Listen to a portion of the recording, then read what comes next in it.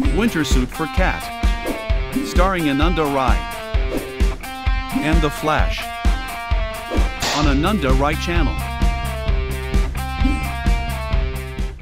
One day on vacation, Flash got tired of the hot summer and decided to cool down. Flash asked Rai to prepare a suit for a cold hike. Rai decided to pick out a good winter sweater and a warm hat for the cat. Rai went looking for clothes in the store and found a suitable outfit for a winter trip. Then this suit was delivered and he unpacked it. Looks good.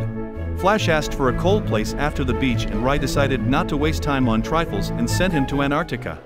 Flash was having a very good time in Antarctica.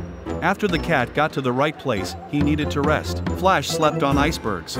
In the morning he rode the winter slides with his friends. During the day the cat hunted polar bears. Sometimes Flash went boating. Look at that serious look.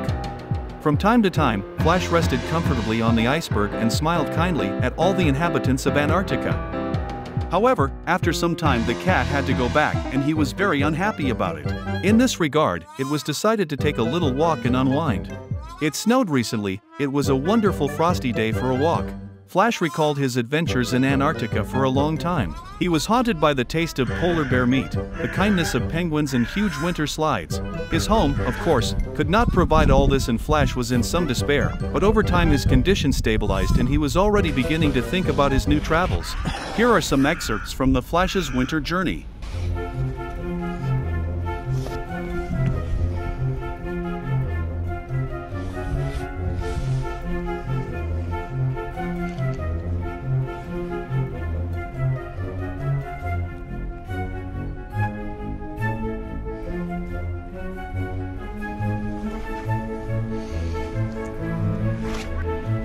This is where our story comes to an end. Thanks for watching, subscribe to the channel.